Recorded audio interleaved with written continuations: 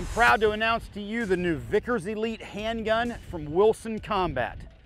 This is a variation on their Combat Elite with some tweaks that I specified.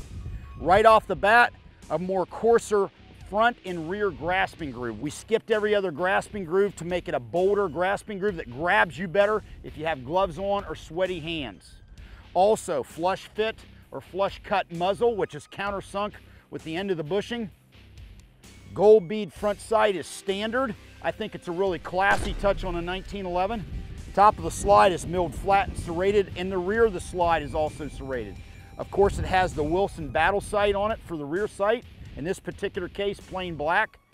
This is my personal gun, and actually the first of all the Vickers Elite pistols built, and it has a left side safety only. Ambi safety is an option. The grip safety is one of their bar stock machine safeties, but is trimmed a little bit and with a little bit higher cut. The magwell, of course, is the famous Wilson Combat one-piece magazine well, blended in superbly and checkered on the rear and checkering in the front. This particular one has a medium length trigger and is two-tone, as you can see, gray and black. Last but not least, we have flutes on the barrel, which gives an area for debris to accumulate and for cosmetics.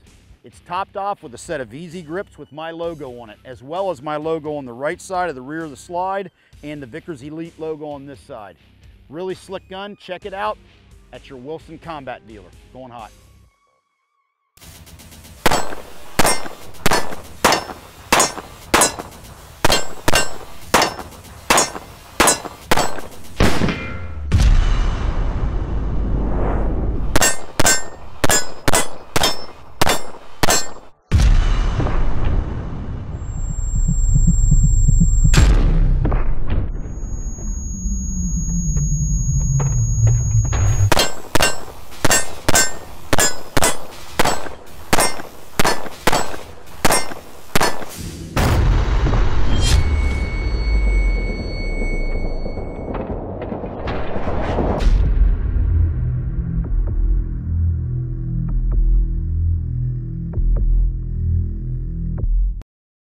Hey, thanks for watching the Vickers Tactical YouTube channel. To subscribe, click here.